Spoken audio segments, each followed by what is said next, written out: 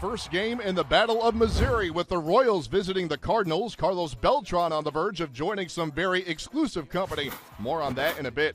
Scoreless in the second, but the Royals have a man at third with two down. Jarrod Dyson with what amounts to a swinging bunt down the third baseline. Kyle Lohse with a nice effort, but the throw late. Alcides Escobar scores. The Royals have a 1 0 lead.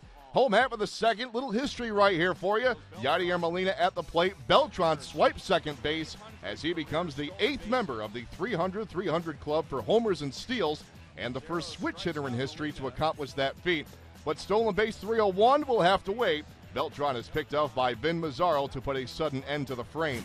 It remains 1 0 Royals until Jeff Francoeur delivers the Ribby single in the third to score Alex Gordon. It's now a 2 0 Royals lead. Bottom three now, two men aboard for Kyle Lohse, but the sacrifice bunt attempt goes awry. Mike Moustakas starts the 5 6 4 twin killing, and the cards come up empty in the frame. Another big chance for the Redbirds to break through in the fifth. Two on, two down, but Mazzaro wiggles out of the jam by striking out Daniel Descalso. Mazzaro would toss six scoreless innings in this one, striking out four. Seventh inning, now a 3 1 game. Man aboard for pinch hitter Shane Robinson as he delivers the single to right. Matt Adams comes around to score, and the Royals' lead is trimmed to 3 2.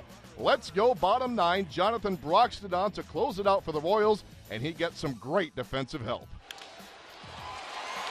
Escobar gloves it, throws, one hop. Man, what a play! But that was just a small sample of the excitement awaiting us in this bottom of the ninth.